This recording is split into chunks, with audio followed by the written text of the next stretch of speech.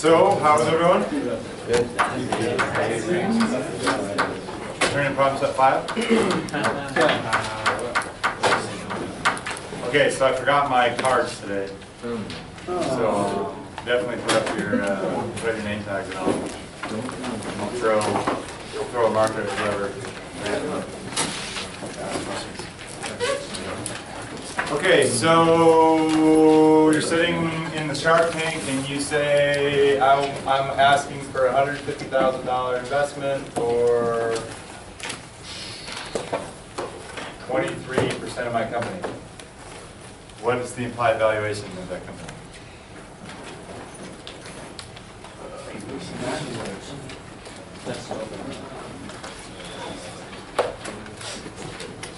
Six fifty. Six hundred fifty? Yeah. So hundred fifty thousand is equal to 0.23 of that, right? Let's take Six that 652 is equal to hundred fifty thousand divided by fifty-three, x is equal to what? Six fifty-two, one hundred seventy-four. That's a very specific valuation that someone is, Well, someone is asking for. Okay, question is, is this value the uh, pre-money valuation or the post-money valuation? So we have a debate. It's gonna be post. Let's argue, who said pre and then who said post and we'll argue. You argue for pre?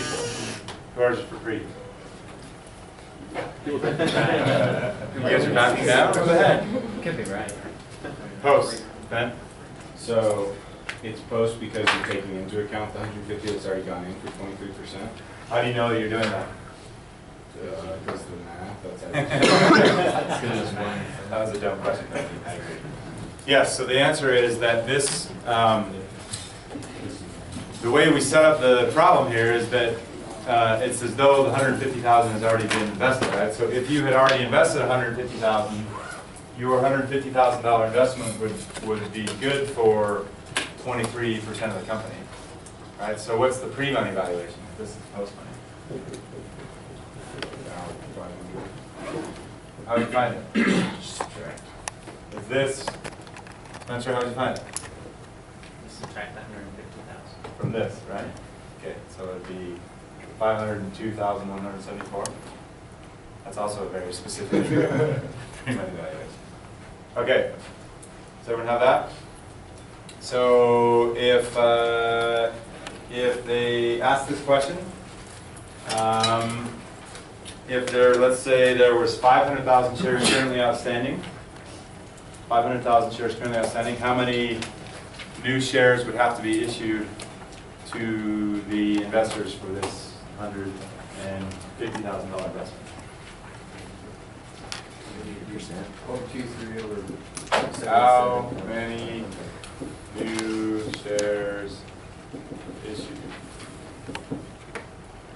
Someone said, Crawford, what'd you say? Hundred forty-nine thousand, Walk us through how you do it. so you're increasing it by 0.23. Okay, so the new ownership percentage divided by, Your old ownership, which is 0.77, times the number of shares outstanding that you have. which is five hundred thousand, we said, mm-hmm. Equals Hundred forty-nine thousand, three hundred and fifty-one. three hundred and fifty-one. Yep. Okay, how could you check if this answer is right? Plug it back in. So how many total shares are outstanding now? Six hundred forty-nine thousand. So one forty-nine divided by three fifty-one over this total amount should equal what? Twenty-three percent. Everyone agree? What is the price that the investors paid per share? How did you find that out? Hundred fifty divided by one forty. Hundred fifty thousand dollars divided by one four nine three five one, yeah, it's approximately one dollar and two cents or something like that. I don't know, I made that up so you can check that. Let me not write that, because you can write that in your notes and then some Saturday night at twelve o'clock, you're gonna be wondering why I got one or two. That's right, you guys are studying Saturday night at twelve o'clock. It's like a dollar and a half. Dollar, Half a cent. point oh oh five, four. four? Come on now, Spencer. Well, okay, I was just trying to, Right now, my kid's doing, uh, my kid's doing, um, scientific notation math. It's seriously the most frustrating thing. I hate that. It's like, Figs. it's questions like three point seven four times ten to the second minus two point five eight times ten to the second. I'm like, you mean three hundred seventy-four minus two hundred fifty-eight? That's what we're doing? Come on. So I was talking to him like that, he's like, no, no, no, no, you gotta do it inside. Uh, Not very good. math over. Yeah. Something about price earnings ratio. Mhm. How, how do we do it when it goes to that? Oh, okay, that's a good question. So, So instead of giving us the ownership. okay, so the example, let's give an example, okay? Um, So much simpler. You want the example from the homework? yeah, give me an example from home. It's the company, he wants to invest five million, the company's worth eight million in sales in five years. And the That's eight million in sales in five years. Yes, and the P ratio is fifteen, PE ratio is fifteen. and he wants to invest. So that's kind of a misuse of the term PE because really what's being implied is the um, price to the revenue. Any the future revenue by fifteen. Yes. So, okay, let me, let me, let me expand, expound. So, there's, remember one of the issues here was how we value the company? Um, and we used the method of multiples. We said if the company has five million in revenue, five million in revenue. Sorry, you guys can't see what I'm saying like that. And uh, multiples in the market were, say, three, people are paying three times revenue for, for a business that looks like this. Then the, we'd say the value of the business is fifteen times three, so fifteen million, right? Well, instead of using a multiple of revenue, you can also use a multiple of earnings per share, which is what a PE ratio is. So if a company had earnings per share of two dollars per share, and, and the market was paying twenty times on a PE multiple, then you would say, um, twenty times a dollar of earnings, then you would say this stock is worth forty dollars a share, but that would just be the equity value, that's not the total enterprise value. So it's just, so price to earnings ratio is a different metric that you can, you can value using multiple. On that homework question, I'm almost sure that I really mean, um, price to revenue. so that's like market cap too? Yeah. Or Uh, no, uh, that just the? this would just be the stock price, so how would you find the market cap? The Stock price? The The total number of shares, that would give you the total equity value. If there was no debt in the company, that would also be the enterprise value. So you're saying this company sells, like, it's valued at twenty times the price per share? It's stock price, it's stock, if it was publicly traded, it would be valued at twenty times the earnings per share. And that is like, isn't it valued? What So- is the, what is the two dollars per share, what is that? This is what their earnings are, which is net income divided by total shares outstanding. But I don't, I'm, uh, I don't, I have no intention of getting into this at all. I'm just answering the homework question, I'm trying to give you a broad perspective on why would I use to earnings, I don't like that, I would need that. Earnings will be negli- negligible. Comparable biotech firms are trading at PE ratios of average. So, an E, instead of E, I would rather say price to revenue. Is that fair? So I'm using the word earnings loosely, I should probably say price to revenue. It wouldn't be like net income. It's definitely not net income. Um, Okay. So what are the things like, what are the thing, what are the, so we, we walked through a little example here, what are the elements of the, what are the elements here? You need to know, what are the different things I've asked you to find? Shares.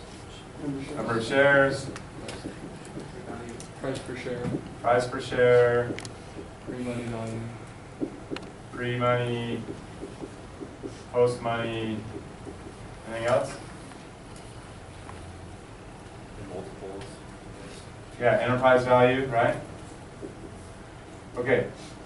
Let's make sure I'm clear. When I say enterprise value, I mean, that's the, that's the value of the whole entity. So if you're talking about a big publicly traded corporation that has a lot of debt and a lot of equity, the enterprise value is the value of the debt and the value of the equity. In a startup, there's very, very infrequently debt, so the enterprise value is just the value of the whole entity. So just also the value of the equity. It would just be the valuation. Yeah. Um, I guess enterprise value is pre-money post-money, isn't it? That's a type of pre-money post-money. So that's a little confusing. Anything else I've asked you? Not really. So this, so everyone feel comfortable that they could work through these kinds of things? Yeah? Good. Okay, yes, sir. The pre-money here is just six fifty-two, one seventy-four minus. No, no, it's not, that's not the pre-money. I know, it's that minus one fifty. Yes, six fifty-two minus. So on the homework, it also says a discount rate of fifteen percent, is that the same as like the twenty percent there? Nope, not at all, actually. So, uh, I used to teach this in a different way last year, and the homework is reflecting that. But the way the homework is saying it is, um, the way the homework is saying it is, let's say, let's say a VC wants to invest. Oh. Well, it's okay, it's a red marker. This is the, this is the one we want following if there's gonna be a fall. So, so let's say the VC wants to make a ten million dollar investment, okay? And it wants to invest in a company that they think will be generating fifteen million dollars of revenue five years from now. Okay? So fifteen million in revenue in five years. At the time, in five years from now, they project that revenue multiples will be six times revenue. So what, what, what- if they sold that company in five years, what would the value of that company be? Ninety million? Be fifteen times six is equal to, is ninety? Yeah. Right, it is, okay. So that's the, that's the value in fifteen, in five years from now, right? So what's the present value of that? It's gonna be ninety million divided by one plus R to the fifth? Yep. So the question is, what's R? What's a reasonable discount rate? Fifty, sixty percent. So call it fifty percent, so the present value would be equal to ninety divided by one point five to the fifth. What's that? Eleven million. Ooh. All right, they don't want to invest ten million, they want to invest three million. Okay. Well, fifty is a very, very high. Yeah, why is it not very very- Yeah, why is it so high? high. Because like you're doing so much for that company, it's not just like the time value, but you're, you're investing a lot over that time period. Super risk. Okay.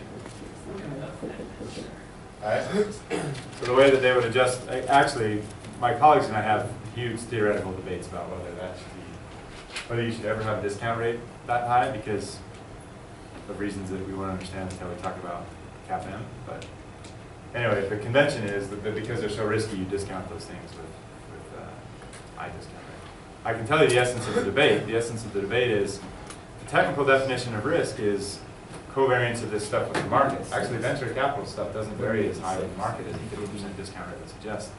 So the technical thing should be, you should have a lower discount rate here and just hit the, hit the numerator with some uncertainty. But that's not the way the convention does it. So, so what's this number here? What is it, eleven million? Eleven point eight? Oh my gosh, you guys just got three dang answers. Eleven point nine, We rounded so many times last class. so that's the pre, what's that? We rounded so many times last class, so we have to keep pretty. Okay, pretty good. safe. So, the, so this is the present value of this company, right? Did everyone see how we got the present value? We used the multiples and what the revenue was going to be in the future, we discounted those, got the present value, so now we're just back to where we were here. What's the investment gonna be? Three million in a company worth eleven point nine, which is, by the way, is this the pre-money or the post-money? Pretty. This is actually the post, because it implies that it wouldn't get to this without that investment having been made. True. Right? So you're gonna have three million divided by an eleven point nine, so that's gonna give you some percent. This, It's so- like point two four because it's almost twelve, three over twelve. Okay, 0.24. Someone here is gonna say it's point two three eight. Now we go 0.24 divided by 0.76. Let's say how many shares are outstanding? Let's say there's six hundred thousand shares outstanding, and you just, we're, we're back to where we were here. Right? Okay, so that should help answer how the homework, is- how the, how one of those problems is done on the homework. There's, there's six hundred thousand shares. I just assumed there's six hundred thousand. Everyone got that? Yeah. Um, does it work if you do it like, okay, they have three million, they want fifty percent return? So, like, just find the future value of three million at fifty percent, like they're getting fifty percent interest, and then divide that by the ninety million that it'll be worth in five years? Um, And then say, okay. what are you so trying to find in that scenario? The percentage of the company that is good. Um, Maybe, we'd have to work through it and see if we can get there. Okay. That's not really the way they, they do it, think. Really, the way they think is, um, are we gonna lose all the money on this deal or not? Uh, yeah, hold on, Perry was first. So when you're looking at the percent of ownership that you'll have after the three million dollar investment, Uh-huh. you look at that percent and to determine, um, what percent of ownership you'd have if you already made that, not what the current, what the company's currently at. Yes, Because the present value is eleven point nine million, assuming that you put in the three million. yes. So when you're doing a contract to determine how much percent ownership a PE firm will have, Mhm. you include the additional revenue they'd make from, from the investment in the first place, right? This, yes, that's right, but this is why I did, this is why I don't like this method so much. This is why I didn't teach it this way. Okay. Because I, I would prefer to just say, what do we think the thing is worth today? Yeah, that's what What, what would our investment make it worth today, and then, and then go forward. okay. But this is, this is a way that other people have done it, and it shows up in this one homework problem, so I just wanted to work with it. Okay, okay, I was confused. But actually, after having thought it- about it and, and and seeing a lot of deals, I decided that's, I'm not gonna do that. I'm not, I was gonna do it this other way. Actually, to be honest with you, I forgot that there was a homework problem that asked it that way, so we did it together just to. John? Yeah, before we totally shift gears and go into IPOs, the last two times I think we wanted to talk about your examples that you've done. Are Oh, yeah. Are we, can we get into those? Yeah. Yeah, we're gonna, I'm gonna have to figure out when to do that, um, because we're running out of time. Right. I'll tell you about one. Go ahead. How about that? Is that a good compromise?